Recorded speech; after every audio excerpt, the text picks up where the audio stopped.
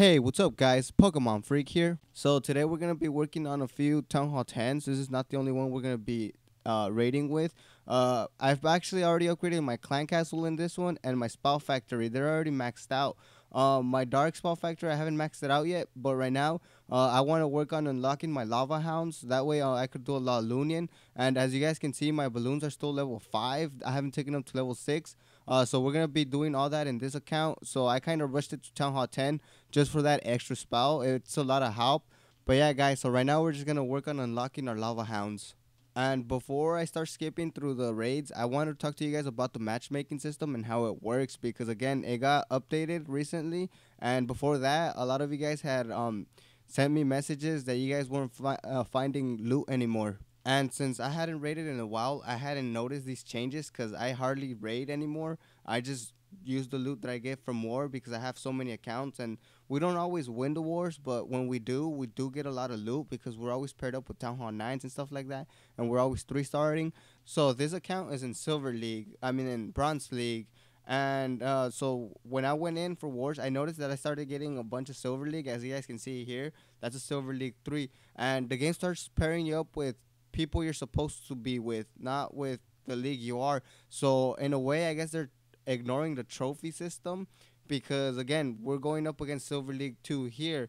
And uh, what I noticed is you, every now and then, like skip five and maybe restart uh, your war search, like get out and uh, restart your search for um for a village to raid because that's what I've been doing and I've been getting uh some loot as you guys can see here that was bronze but again he was a town hall 10 because this is a town hall 10 so I started seeing a lot of town hall 10s and yeah there's still some effortless raids that exist but um it's not as many as it was back then when you would just go in and get like uh defenseless town hall 8s now you're gonna get town halls around your area. Not it doesn't really measure you defense wise it has something to do with your troops now but even then we run a town hall 8 troop composition and we haven't seen any town hall 8s and as you guys can see this is a town hall 9 if i had my lava hounds i could have probably three started this base but i haven't unlocked them and that's what we're going to work on now. And as you guys can see here this is a town hall 9 it was F it was actually it's effortless as you guys can see.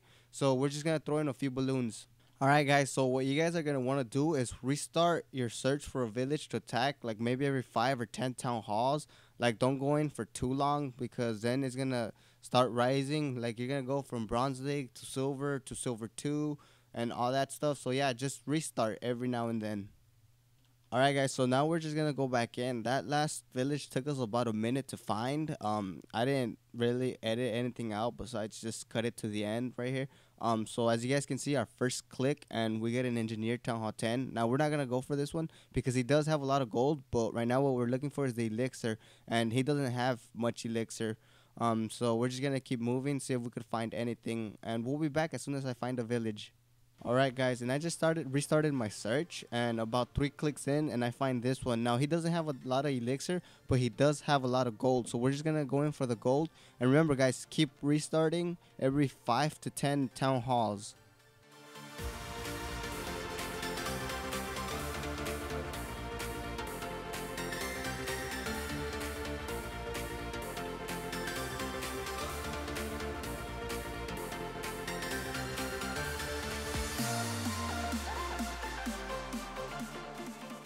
Alright guys, so it looks like we got enough to unlock our lava hounds, so that's what we're gonna do. We're just gonna put down uh, the lava hounds so we can unlock them already. We're gonna do that right now.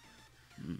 So yeah, uh, so now that's gonna take some time, and right now I'm just gonna show you guys my attack log. As you guys can see here, um, it's pretty much all good loot. There's not that many effortless raids again, but balloons are a good way to raid because as you guys can see, some of them I didn't take too many balloons.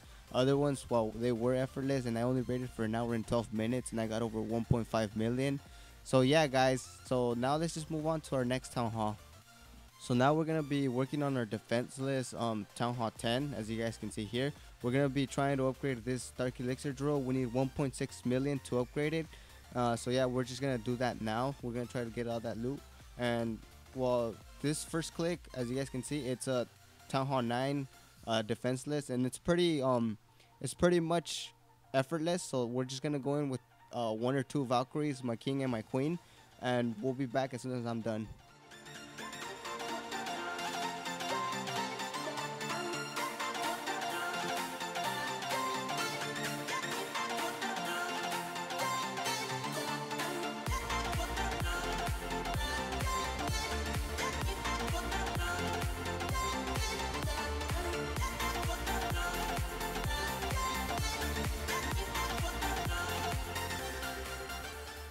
And just like that, as you guys can see, we have more than enough to upgrade our Dark Elixir drill.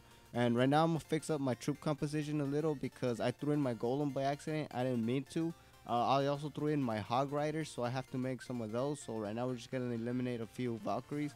So we have more than enough room to throw in our, well, our Golem again. So yeah, guys, right now we're just going to put down our um, Dark Elixir drill, and we're gonna move on to our Town Hall 10, which it was formerly a Max Town Hall 9. So you guys can see how I rate on that one and how the loot is on that one. Now it's gonna be my first time rating on it. So yeah, guys. So a few days ago, I got the one week shield for this um, town hall because, uh, as you guys can see, we have a lot of gold, and I didn't really want to lose it while our town hall upgraded, and it just finished upgrading. Also, we almost have enough for a clan castle, but I want to do my air defenses first because again I want to defend against those air troops. So we're just gonna jam it a little here and we'll be back as soon as the shield's over.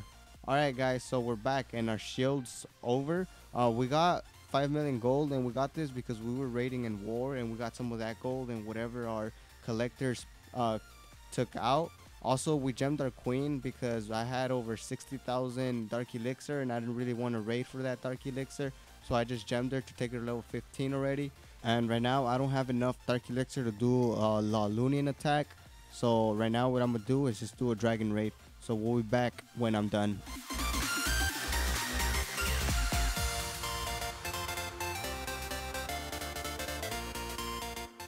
Alright guys, and as you guys can see, we got more than enough with just two raids. We got over 1 million gold. So right now, we're just going to put down our air defense. And the whole reason I'm focusing on my air defenses right now is because I want to stop those air raids from Town Hall 10s and Town Hall 9s. Because we get, keep getting paired up with them, and this will stop the draws.